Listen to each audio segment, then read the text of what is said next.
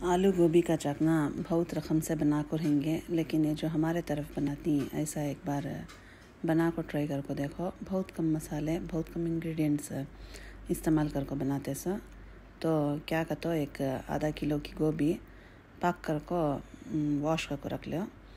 इसका वॉश करने का तरीके की वीडियो में दूसरा सेपरेटली पोस्ट करती हूँ।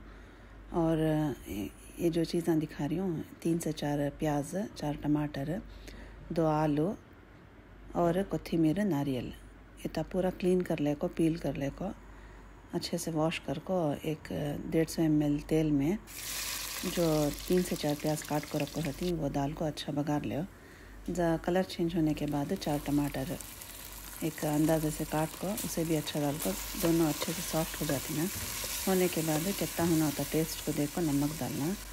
और दूसरे मसाले में क्या कहते हो हल्दी, मिर्ची का पाउडर कश्मीरी लाल मिर्च ले हमें उसके वास्ते कलर बहुत अच्छा आता है इससे। और एक आधा टी स्पून के आता हल्दी का पाउडर टमाटर जल्दी सॉफ्ट होने के वास्ते। और इसके बाद जब ये पूरी तरह अच्छा सॉफ्ट हो जाती है, एक ज़रा नारियल और कोथिमीर इतना पीस को डालना है इसमें। तो एक हाफ़ कप के होता नारियल है और एक मुट्ठी भर को कोथिमीर है। इसे अच्छे से ग्राइंड कर ले को ये जो बचकर होता जार में, उसका भी पानी मिला को डाल डालो। और एक्स्ट्रा क्या भी तुम्हें इसमें पानी डालने की ज़रूरत नहीं है। अब नेक्स्ट आपको क्या करते तुम्हें जो आलू और गोभी काट को वॉश कर को रख ले को रहती इसे अब कच्चे स्मेल जाना पहले मसाले के। जाने के बाद ये जो आलू और गोभी ही, उसे मिला लेना मसाले में।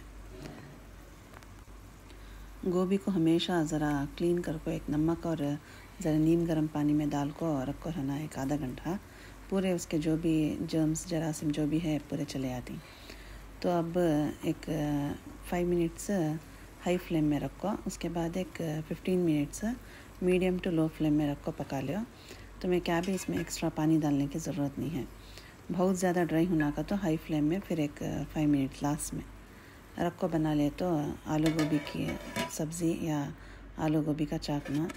साथ में मैं आज मरकिन के पराठे बना ली थी। मरकिन का तो मैदा। ऑल पर्पज़ फ्लावर के आज रोटियाँ बना ले को। इसके साथ बहुत अच्छा दिखता है वो। नहीं तो भी तुम्हें चावल की रोटी या रागी की रोटी भी बना ले सकती। तो ज़रूर एक मरतबा बना कर ट्राई कर को देखो। बहुत कम इंग्रेडिएंट्स ही, लेकिन टेस्ट बहुत ज़बरदस्त रहता। तो ज़रूर एक मरतबा बना कर ट्राई कर को देखो। यूट्यूब के चैनल का लिंक बायो में है। अगर रेसिपीज़ पसंद आ रही तो ज़रूर यूट्यूब के चैनल को भी सब्सक्राइब करो।